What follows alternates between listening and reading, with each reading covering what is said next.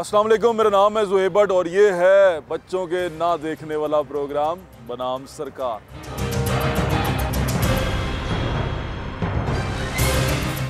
आज का प्रोग्राम बच्चे ना देखें इसलिए कहा क्योंकि बच्चों की बात करना चाह रहा हूँ। आज तीन चार दिन से खबर बहुत ज़्यादा अहम हो गई हमारे नेशनल मेन स्ट्रीम मीडिया पे। जिसकी वजह से थोड़ी सोसाइटी में भी थोड़ी सी डिस्टर्बेंस क्रिएट हुई। वो ये थी कि एक टिकटॉकर की शादी जो सी है, वो सबसे अहम खबर बनी हुई थी इस वक्त।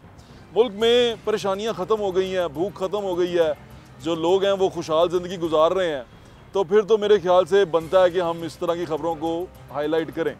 लेकिन ये सवाल उठा बार बार कि मीडिया बार बार क्यों टिकटॉकर की खबर को इस तरह दिखा रहा है और वो इतनी अहम क्यों हो गई कि उसकी गूंज असम्बली तक में सुनी जाने लगी। यहाँ से अंदाज़ा करें कि आपकी सोसाइटी का टेस्ट क्या हो गया, क्योंकि वही चीज़ मीडिया दिखाता है। मीडिया एक आईना है आपका, एक सोसाइटी का, समाज का आईना है। तो मीडिया वही चीज़ दिखाता है, जो चीज़ आप देखना चाहते हैं। यानी कि जो चीज़ ज़्यादा लोग देखेंगे, वही मीडिया दिखाएगा। मेन स्ट्रीम मीडिया की बात कर रहा हूँ। कभी आपने अपने खुद से, अंदर से ये सवाल पूछा है, जिसकी बात आप कर रहे हैं, ये टिकटॉकर आखिर मशहूर क्यों है? वो कौन सा ऐसा फ़न है? वो कौन सा ऐसा आर्ट है जो ये टिकटॉकर जो सा है, वो यूज़ करता है और इस्तेमाल करता है।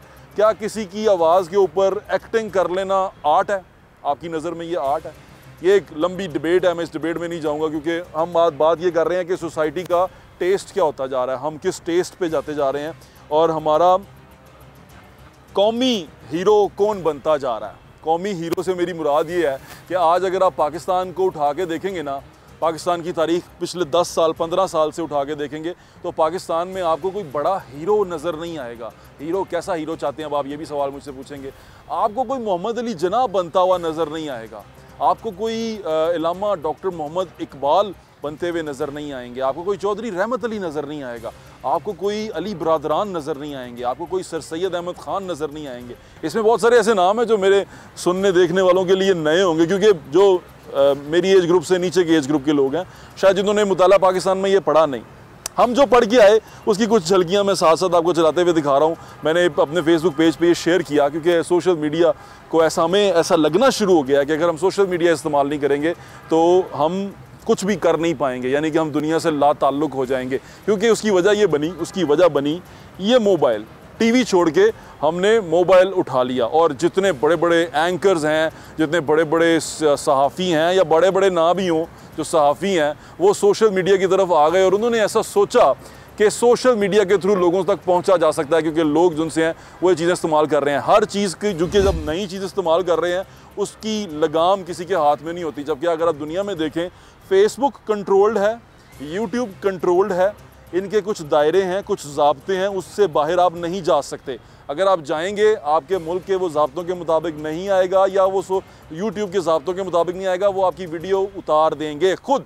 ये मेरे साथ खुद हो चुका है कि एक दफ़ा हमने एक वीडियो शेयर की लाहौर में जो ब्लास्ट हुआ था फेसबुक पे वीडियो डाली वो फे, वीडियो फेसबुक ने खुद ही डिलीट कर दी। उन्होंने कहा कि ये हमारी जो सी हैं गाइडलाइंस उनके ऊपर नहीं आ रही तो हम ये नहीं लगाएँगे। अब हर चीज़ के ऊपर कंट्रोल्ड है। मादर पिदर आज़ादी कहीं पर भी मौजूद नहीं होती। मादर पिदर आज़ादी का मतलब वो होता है, उस सोसाइटी को मादर पिदर आज़ादी देना जो समझती हो।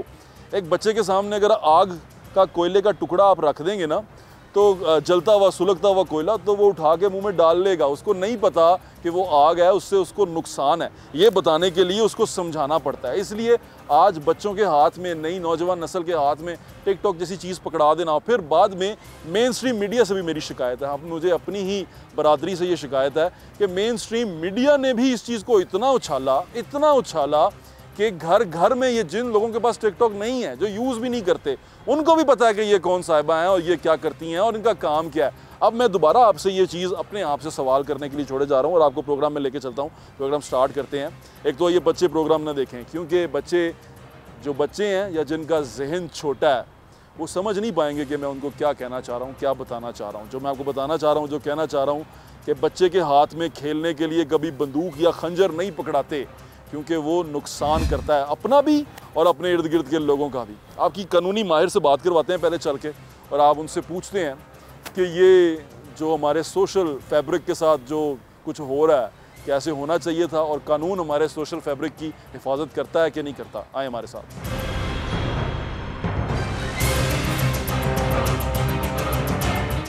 जी नाजिन टिकटॉक की बहुत सारी खसूसियात के साथ बहुत सारी खामियाँ भी मौजूद हैं। एडवोकेट अजहर सदीक साहब हमारे साथ मौजूद हैं। सर कैसे हैं आप? अजहर साहब से हम बात करने आए हैं अदालती पॉइंट ऑफ़ व्यू से क्योंकि कुछ दिन पहले एक ट्वीट किया फवाद चौधरी साहब ने। उन्होंने कहा कि अदालतें क्या कर रही हैं? अच्छा देखिए मैं बड़ा क्लियर हूँ इस बारे में। आर्टिकल 19 पढ़ लें। जी ठीक है। आपको आज़ादी है लेकिन राइडर लगे हुए हैं सब्जेक्ट टू रीजनेबल रेस्ट्रिक्शन उससे पहले मैं बताता चलूँ। आकाए दो जहाँ हजूर नबी करीम वसल्लम की हदीस के बारे में your right of liberty end where the nose of other start बिल्कुल ठीक है। इस नाक तक आज़ादी है लेकिन हम ये टिकटॉक और ये सब लोगों ने तो ये तो आपके जिसम में घुस गए हैं यार। बिल्कुल ठीक है। इन्होंने माशरती इकतदार को धो के रख दिया। वैल्यूज़ खत्म कर दिए मैं कहता हूँ तबाही कर दी है। देखिए आप आप ये जो जो है ना फवाद चौधरी साहब को किसी किसी वक्त जो है ना वो लिबरल्स का दौरा पड़ता है यार। दोस्त है मेरा यार मैं बताऊँ। बहुत प्यार है मेरा उसके साथ। लेकिन वो लिबरल्स का दौरा पड़ता है उनको। वो समझते हैं कि मादर पिदर आज़ादी होनी चाहिए। हालाँकि ख़ुद उन्होंने सोशल मीडिया के ऊपर इमरान खान के बारे में ये अपनी गवर्नमेंट के बारे में क्या क्या बातें हुई हैं क्या क्या पार्टी में। आप देखें यहाँ बैठ के ये बड़ा मुश्किल काम है। आईने पाकिस्तान उन्नीस सौ तिहत्तर में बुनियादी हक का तहफ़ अदालतों की ज़िम्मेदारी है। चले अदर साहब ये तो हो गई कानूनी बात। एक बात बताएँ आप माशाल्लाह फैमिली वाले हैं लाहौर शहर के रहने वाले हैं।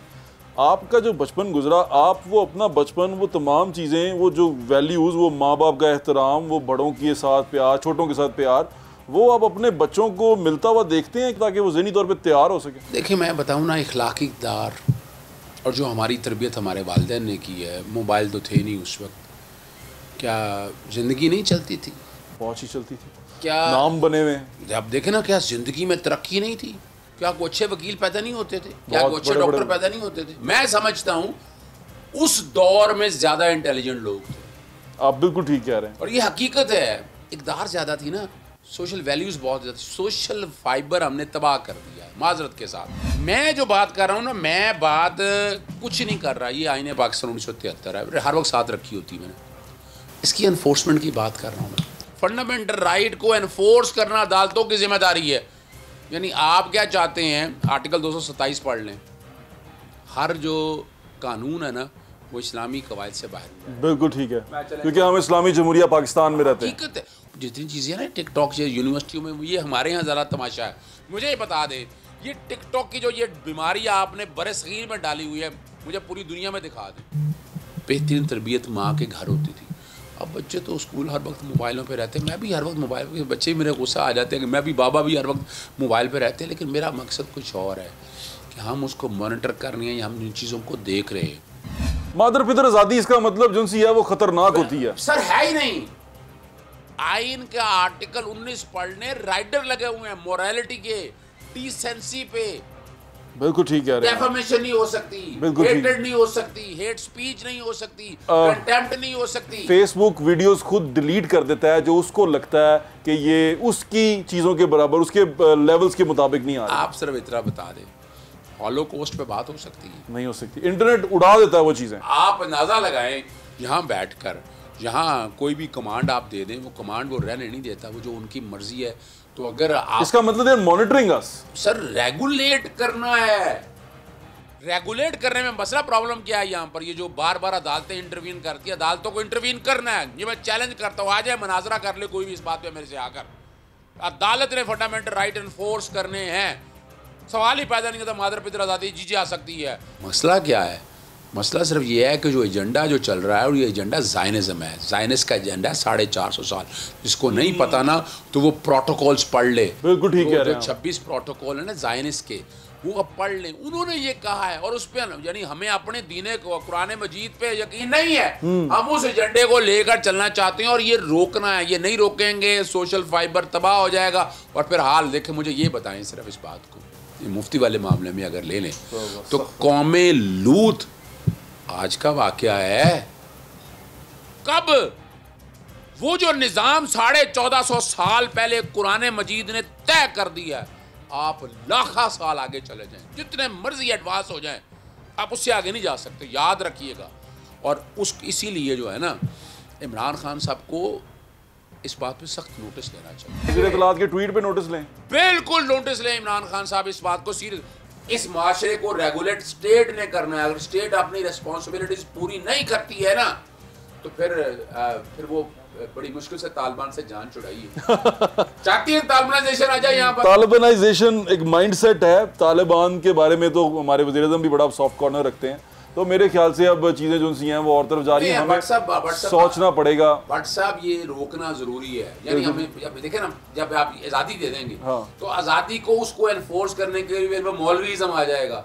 फिर वो मैं तो अच्छा, अच्छा मैं यहाँ पर थोड़ा सा आपसे इस बात को थोड़ा सा और तो आपसे तफसील जानना चाहता हूँ। एक तालिबानाइजेशन और मौलवीज़म मौलवी खुद में बजाते खुद एक बुरी चीज़ नहीं है। मौलवी इज़ अ गुड थिंग मौलवी के किरदार को ख़राब किया इंसान ने उनके उस हरकत की वजह से जो पूरा किरदार है मौलवी का वो सारा ख़राब हो जाता है। अच्छा देखिए ये पाँच उंगलियाँ बराबर हैं। नहीं। हर प्रोफेशन में जजों में कोई रिश्वत भी लेते हैं तो क्या क्या हम सारे जजों को उठाकर फेंक दें? बिल्कुल ठीक है। कोई वकीलों में अच्छे वकील नहीं सारे वकील उतार के फेंक दें। डॉक्टर फेंक दे सारे। बिल्कुल ठीक स्टूडेंट फेंक दे सारे। भाई उसमें चंद ऐसे गंदे अंडे मौजूद हैं ऐसे गंदे लोग मौजूद हैं उससे पूरा प्रोफेशन तबाह नहीं होता। और ना करना चाहिए। और ये और ये देख रहे हैं ये जान के वो सोशल फाइबर तोड़ रहे हैं। हाँ। आप इसकी मिसाल यूँ ले लें चलें। तेजाब से पूरी दुनिया के अंदर तेजाबगंज से कितने लोग मरते हैं? बिल्कुल ठीक है। डीजी रेंजर ने एक बयान हाँ कर दिया अजाब लग गया उनको। जनाब वो शर्मीन शनाए ने तेजाब गर्दी पे पाकिस्तान का इमेज इस तरह ख़राब करके तो ये वाकई पूरी दुनिया में होते पूरी दुनिया में हैं हैं। स्टेट्समैन को एक्ट करना है हमें। हमें अच्छा ये एक बताएँ आप सऊदी अरब में ये इजाज़त है? बिल्कुल नहीं। तो क्या वो क्या वो पीछे रह गए? बिल्कुल नहीं। बहुत आगे जा चुके हैं। देखे ना तो ये जो मज़ाक हमने बनाया हुआ है ना कि हम समझ रहे हैं कि नहीं भाई ये नहीं ये घर है ये मेरा घर है। ये पाकिस्तान हमारा पाकिस्तान है। यहाँ ऐसी चीज़ें नहीं चलनी चाहिए। जहाँ वो आपको ना आइन इजाज़त देता है ना कानून इजाज़त देता है। मैं चैलेंज का लफ्ज इस्तेमाल किया बिल्कुल ठीक है। और, और- यहाँ एक और चीज़ है व्हाट्सअप एक और तजवीज़ ये चलाइएगा ज़रूर। ज़रूर चलाएँ। वो इसलिए चलाना ज़रूरी है कि यहाँ प्रिवेंशन इलेक्ट्रॉनिक एक्ट को सामने रखते हैं हमने रूल्स रेगुलेट कर लें। आप बड़े आसान से कोई मुश्किल काम नहीं है। इजाज़त दें आप इनको। लेकिन इसको रेगुलेट करें। इस पे फायर इस पे फायरवॉल लगने की बात है। और इसको रोकने की वजह से आप डिलीट करते हैं ना ऑटोमेटिकली अगर टिकटॉक जैसे जैसे फेसबुक चीज़ें नहीं आने दे रही, उसके बाद तोहहीर अदालत जब हाईकोर्ट ने पाबंदी लगाई तो फेसबुक ने रोका। यहाँ भी टिकटॉक अगर चलाना चाहता है ना सारा तो टिकटॉक पे खुदारा वो चीज़ चलाए जो हमारा कानून देता है इजाज़त। कानून की बात बिल्कुल ठीक है आप ठीक कह रहे हैं लेकिन थोड़ा सा कल्चरली भी हम इससे इफ़ेक्ट हो रहे हैं। नाजिन उस कल्चर के हवाले से भी बात कर रहे हैं हमारे साथ रहेगा आपकी और लोगों से भी बात करवा हम लिबरल ऐसा थोड़ा ही ना कि सिविल सोसाइटी जो है वो कपड़े उतार के या बेहंगम या बेहुदा डांस करके या बेहुदा इस किस्म के क्लिप्स बना के तो वो हम लिबरल्स पता किस लिए हैं कि हम मज़ाहब को जोड़ के रखते हैं।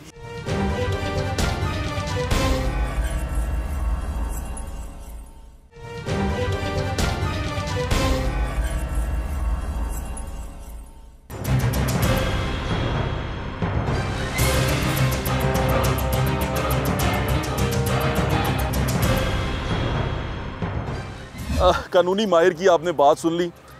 बात फिर यहाँ आगे वही आ जाती है, अभी ये बहस है, बहस के अंदर बहुत सारे लोग शामिल भी होंगे, जो नीचे फेसबुक पे या कहीं पर भी हम ये क्लिप लगाएँगे, जो नीचे कमेंट भी करते हैं, उनके कमेंट्स से आपको ये समझ आना शुरू हो जाती है कि इनकी तरबियत कैसी है। ये वो नस्ल है जिसने आगे जाना है, हमें रिप्रेजेंट करना है। आज के दिन पाकिस्तान को रिप्रेजेंट कौन कर रहा है? आपने कभी ये सोचा है?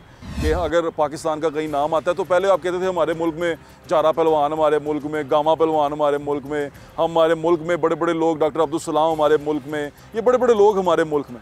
अभी जब आप अपने मुल्क का नाम लेते हैं, आप किसका नाम लेते हैं? आप क्या कहते हैं, हमारे मुल्क में कौन? कोई एक फ़र्स्ट आपके जहन में कौन आता है? ज़रा सोचें खुद से सवाल करें। मेरी आज की सारी बातचीत आपके लिए, सवाल के लिए है। ज़रा खुद सोचें कि आपके जहन में कौन आता है? जब आप फ़र्स्ट नाम लेते हैं, हमारे मुल्क का हीरो कौन? एक दो तीन वसीम अक्रम शुएब अख्तर इमरान खान क्रिकेट।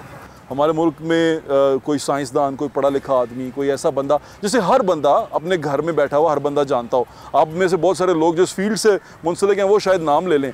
लेकिन कोई ऐसा बंदा जो आम आदमी है उसके जहन में कौन आता है? ज़रा सोचें। जो प्रोग्राम देख रहे हैं वो सोचें उनको समझ में आ जाएगा कि हम हम बचपन में थे अपने छोटी उम्र में थे तो हमारे नज़र में कौन लोग आते थे?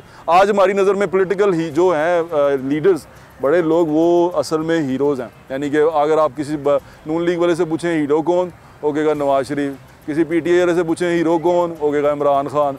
ओ भाई, हीरो कौन? नेशनल हीरो कौन? आपने अपने बच्चों को उनके हाथों में मोबाइल पकड़ा के उनको जो आज़ादी दी है, उसने काम ख़राब कर दिया है। यहाँ पर जो रेगुलेशन की बात हो रही है, जो कंट्रोल की बात हो रही है, वो इसलिए हो रही है कि नई आने वाली नस्ल जो सी है उसको नज़र नहीं आ रहा कि वो कहाँ जा रही है। गाली निकालना, किसी पे तहमत लगाना, किसी पे इल्ज़ाम लगाना, किसी को बुरा भला कहना, अपने अकायद में मज़बूत रहना, फिर अपने आप को क्लासिफाई करना कि ये नून लीग का सपोर्टर, ये पीटीआई का सपोर्टर, हम सब पाकिस्तानी हैं। जब आप सब पाकिस्तान के लिए सोचेंगे तो एक नेशनलिज्म डेवलप होगा आपके अंदर। अभी आपके अंदर नेशनलिज्म नहीं आ रहा। आपकी सोसाइटी के अंदर नेशनलिज्म नहीं आ रहा। सड़क पे खड़े होकर आपको नज़र आता है कि नेशनलिज्म नहीं है। पाकिस्तानी नहीं है। हम पटे हुए हैं। किसी कोई बात कर दे आपके अकायद के ख़िलाफ़, आपके लीडर के ख़िलाफ़ तो आप कहते हैं वो ये दूसरी पार्टी का ये दूसरी पार्टी का नहीं है। ये आपके मुल्क का है। आपके जगह पे रहता है और आपके हक की, आपकी बेहतरी की बात कर रहा है। देखिए सोशल मीडिया बहुत अहम चीज़ है। मैं उसके ख़िलाफ़ नहीं हूँ। ना हम में से बहुत सारे लोग उसके खिलाफ दिए, लेकिन उसका इस्तेमाल रेगुलेटेड होना चाहिए। यही जानना चाहते हैं और यही आपको कहना चाहते हैं। आए और लोगों से बात करवाता हूँ आपकी।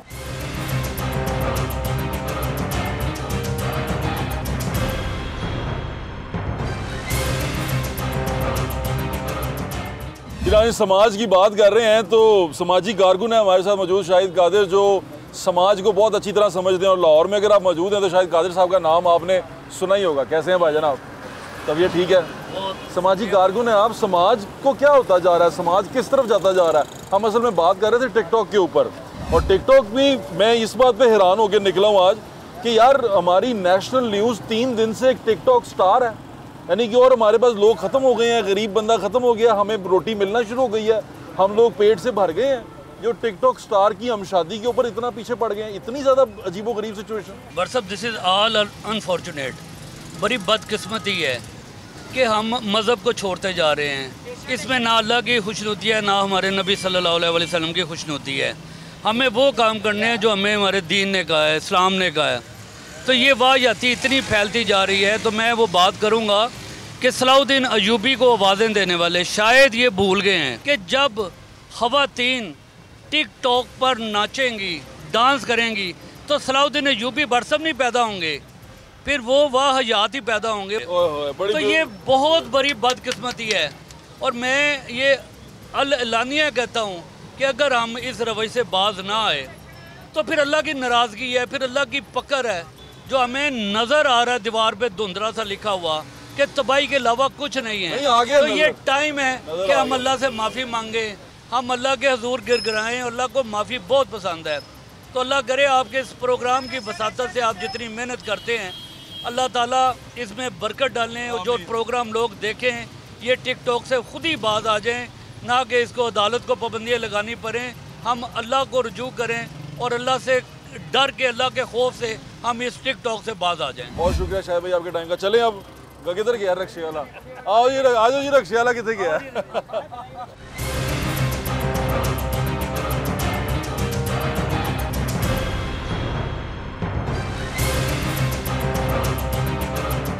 जिन्हें बात हो रही है समाज की तो सिविल सोसाइटी पीछे नहीं रहती इसमें।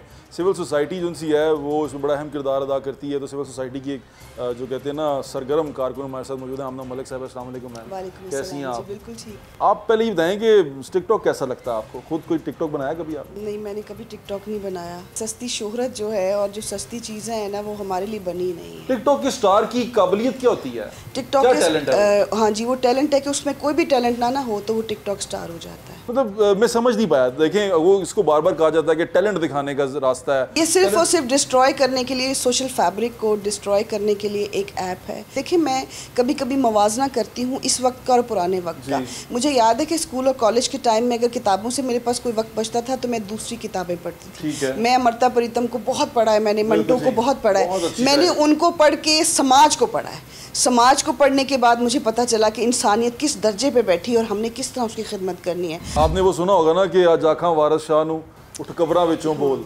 आज इश्क किताब दा कोई अगला वर्का बोल। आज वो वही सूरत हाल आ गई है पंजाब स्पेशली लाहौर शहर के अंदर।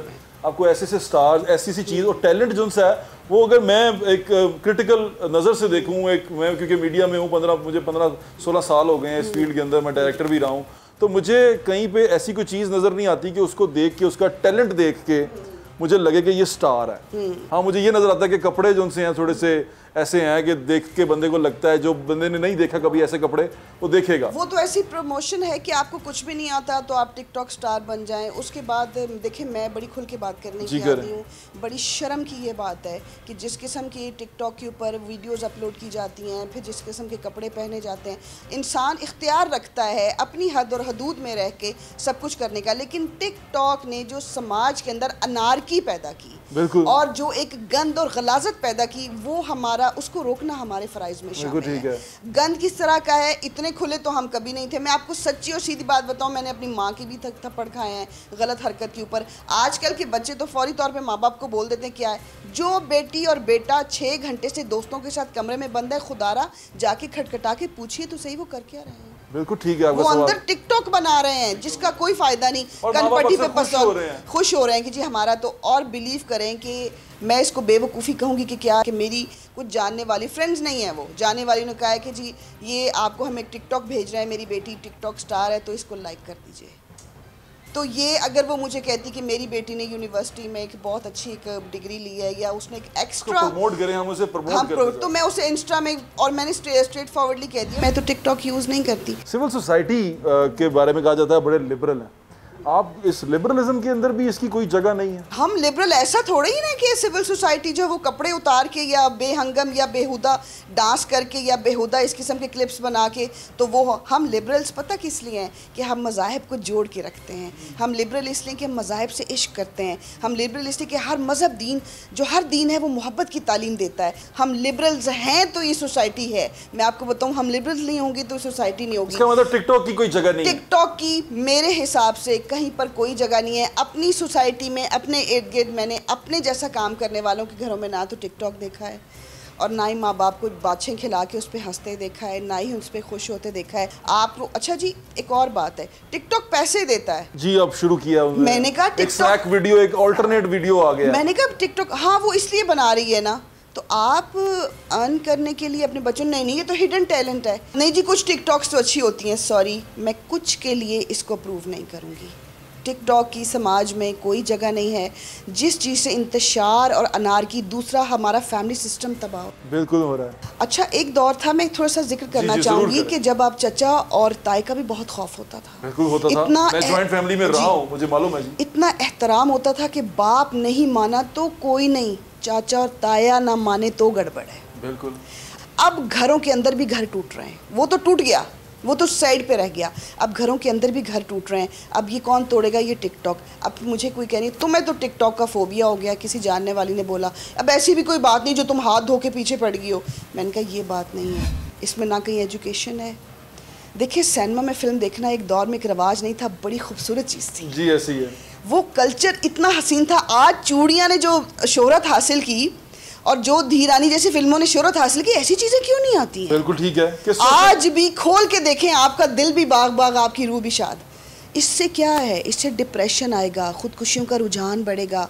जिस तरह इश्क मुआशके की दास्तानें टीवी पे जद आम है इसको खुदारा कंट्रोल कीजिए। आज का प्रोग्राम करने का भी मैडम मकसद यही था कि national media mainstream media के ऊपर जब ये डिस्कशन होना शुरू हो जाए तो फिर मेरे लिए मेरे जैसे बंदे के लिए अलार्मिंग था क्योंकि हम सोशल वैल्यूज़ की बहुत कदर करते हैं। हमारे लिए रिश्ते बहुत इंपॉर्टेंट हैं। तो उसके अंदर जब इस तरह की चीज़ आए तो फिर ये सवाल उठता है। आपका वक्त का बहुत बहुत शुक्रिया ma'am thank you thank you you। ये चीज़ों को हाईलाइट नहीं करना चाहिए। बज़ दफ़ा ऐसे होता है कि आपके हाईलाइट करने की वजह से घर घर के अंदर ये चीज़ चली जाती है। किसी टिकटॉकर की शादी किसी उससे हो गई तो ये गॉसिप है।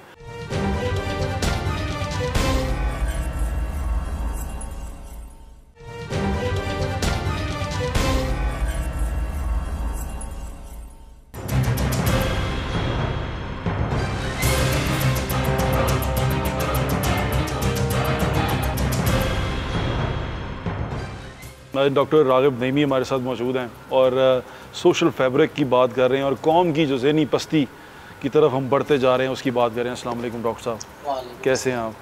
ठीक ठाक। डॉक्टर साहब अभी पिछले कुछ दिनों में मीडिया पे बड़ी अजीबो गरीब चीज़ें चली हैं। उलमा कराम को लेके चली हैं मुफ्तियों को लेके चली हैं और सब चीज़ें जो सी हैं तो लीक कुछ लीक वीडियोज़ हैं। फिर कुछ ऐसे करेक्टर उभर के आए हैं जो मैं नाम नहीं लूँगा अभी किसी का। कि जो उलमा कराम मुफ्तियों के साथ जुड़े हैं और वो ख़वातीन टिकटॉकर्स थी टिकटॉकर से ये तमाम की तमाम सूरत हाल किस तरफ़ जा रही है? हज़रत मैं, मैं हम लाहौर शहर के रहने वाले हैं इसी मुल्क के रहने वाले हैं। मैंने कभी कौम को इतनी जहनी पस्ती में नहीं देखा। उर्दू का मुहावरा है बदनाम होंगे तो क्या नाम ना होगा? हाँ। तो इस वक्त बदनामी के ज़रिए नाम कमाया जा रहा है। ओहो। अब जिस पस्ती की आप बात कर रहे हैं उस पस्ती के अंदर यही एक तरीका रह गया है नाम कमाने का। हाँ। आप मुझे ये बताइए कोई बहुत अच्छा परफॉर्म करता है एजुकेशन के अंदर? टॉप करता है और वो यूनिवर्सिटीज़ को टॉप करता है? या वो इवन दिनी मदरसे का भी कोई बच्चा टॉप करता है मदरसे के अंदर? तो उसको कहीं पे भी अप्रिशिएट नहीं किया जाता।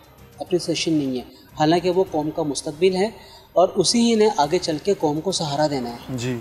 ये मीडिया का एक अलमिया है जो रेगुलर मीडिया के ज़रिए ऊपर नहीं आ पाता है उसके पास एक चांस है सोशल मीडिया के ज़रिए ऊपर आने का। अब आप देखिए इससे बढ़ के और क्या बात होगी कि बड़े बड़े नामी ग्रामी एंकर्स और तजिया निकार इन टिकटॉकर्स को लेकर इनके ऊपर प्रोग्राम कर लें और बेहतरीन चैनल्स के बेहतरीन टाइमिंग के ऊपर उन टिकटॉकर्स के प्रोग्राम चलें। तो ये तो जो आप बात कर रहे हैं ना अलमिया की तो अलमिया यही है और ये बहुत सस्ती शोहरत का एक तरीका है ज़रिया है जिसको हम देख रहे हैं होते हुए। अच्छा फिर इसमें एक और चीज़ भी है। ये माशरे को डिफ्यूज़ भी करता है। हमारे पास अपनी एग्रेशन का इजहार करने के लिए कुछ चीज़ कोई हमारे पास अ, ऐसा ज़रिया नहीं है कि हम उसका इजहार कर सकें। हज़रत जब उसमें फेम ही नहीं है तो फिर वो कहेंगे ना इसी तरफ़ आ जाए। जैसे आपने कहा कि आसान तरीका है। आसान तरीका है आसान तरीका है। अब एक आदमी का एग्रेशन है उसने निकालना है वो अच्छा सा मोबाइल ख़रीदता है स्टैंड के ऊपर लगाता है उसके सामने बैठता है और बोलता है और इंतहाई सख्त ज़बान इस्तेमाल करता है। और ये हमारे माशरे का अलमिया है। हम सिर्फ़ सख्त ज़बान के ऊपर मिर मर जाते हैं और समझते हैं कि जो सख्त ज़बान बोलने वाला है शायद ये किरदार का गाजी भी होगा।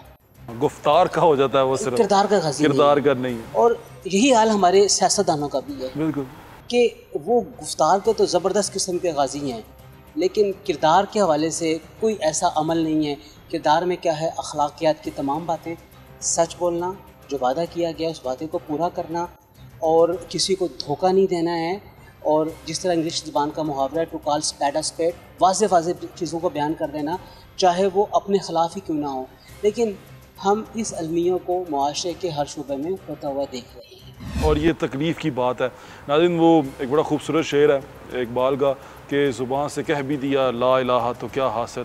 दिलो निगाह, मुसलमान नहीं तो कुछ भी नहीं। तो यहाँ पर स्टोरी सारी वो यहाँ पर आके रुकती है।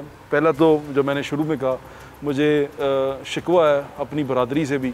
शिकवा ये है कि ये चीज़ों को हाईलाइट नहीं करना चाहिए। बाज़ दफ़ा ऐसे होता है कि आपके हाईलाइट करने की वजह से घर घर के अंदर ये चीज़ चली जाती है। किसी टिकटॉकर की शादी, किसी उससे हो गई तो ये गॉसिप है।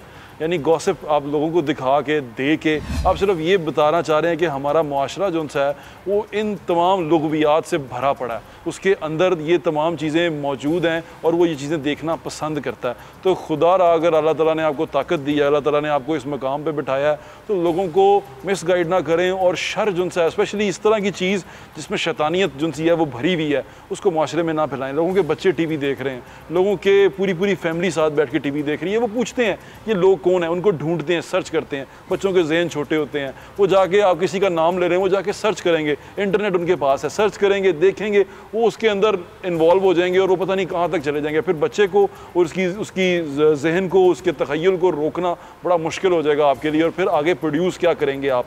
वो इंस्पिरेशन किससे ले रहे हैं? ये आपने देखना है। तो इंस्परेशन के लिए ऐसे लोगों को प्रमोट करना चाहिए, ऐसे लोगों की बात करनी चाहिए जो दुनिया में नाम कमा के गए हैं अच्छा काम करके गए हैं। चीज़ें भी यही हैं।